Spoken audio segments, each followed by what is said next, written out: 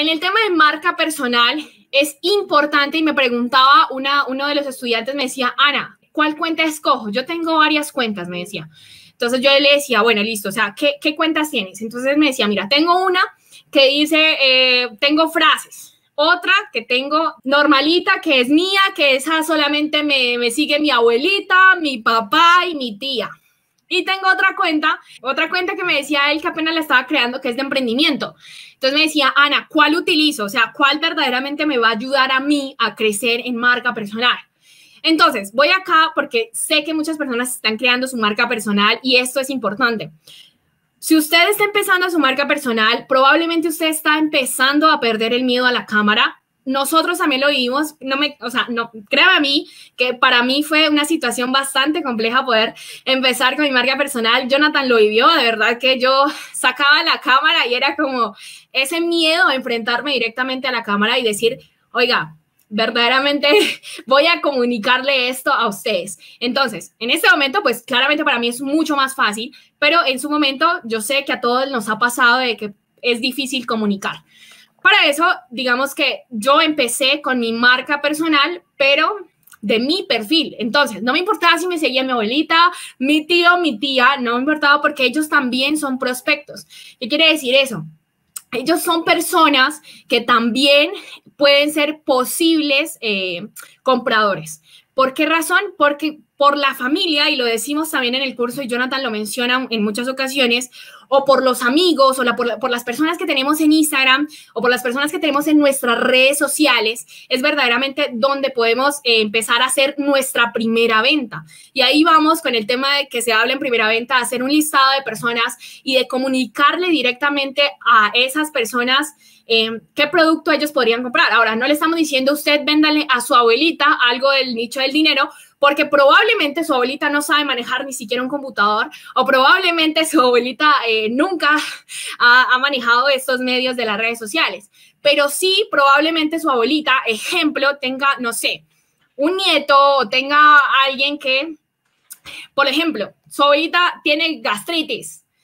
Si usted busca en Hotmart, se va a dar cuenta que dentro de primera venta, de primera venta, perdón, dentro de Hotmart hay productos de o sea, de gastritis. ¿Qué quiere decir eso? Que usted a su abuelita no le va a llegar con un producto del nicho del dinero, pero sí le puede llegar con un producto del nicho de la salud.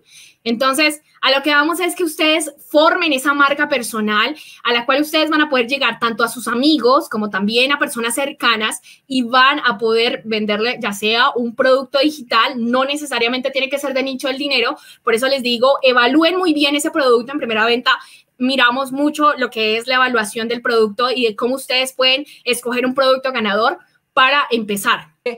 De hecho, si ves nuestros primeros videos, si ves los videos de Ana, si ves los videos míos, pues te vas a reír mucho porque eh, no es nada comparado de la manera, por ejemplo, con la que hablamos ahora. Antes era como que hablábamos así como súper monótonos, como con miedo, como que todos robots, como que no nos movíamos, todos, absolutamente todos iniciamos así. Así que tienes que darte cuenta que para poder ser bueno en oratoria, para poder hablar bien frente a una cámara, para poder hablar fluidamente frente a una cámara, vas a tener que hacer video tras video tras video. Es más, estás a 20 videos de convertirte en la persona que que quieres sentirte como orador, que quieres sentirte al comunicar un mensaje, pero no vas a llegar a ese video número 20 si no inicias por el primer video. Así que hoy mismo tienes que grabar un video y etiquetarnos, tanto a Ana como a mí, en las historias de Instagram y ahí es donde tienes que iniciar. Y si no puedes superar ese miedo, entonces no vas a conseguir tus sueños, no vas a conseguir absolutamente nada en la vida, porque siempre, amigo mío, siempre, después de ese miedo está en tus sueños. Y si no eres capaz de superarlos, entonces no vas a conseguir absolutamente nada. Es más, con el tema de grabar videos a través de Internet,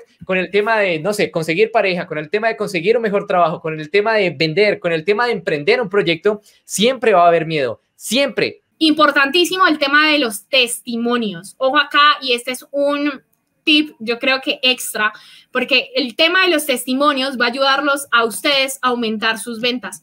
¿Por qué razón? No solamente sale Ana diciendo, hey, es que Ana ha logrado tanto, no, sino también ha logrado Perengina, eh, Jonathan, ni sé quién, entonces también han logrado esas ventas y por supuesto, por lo menos algo que me ayudó mucho cuando, cuando inicié fue colocar el tema de los testimonios. Así yo no había realizado ninguna venta.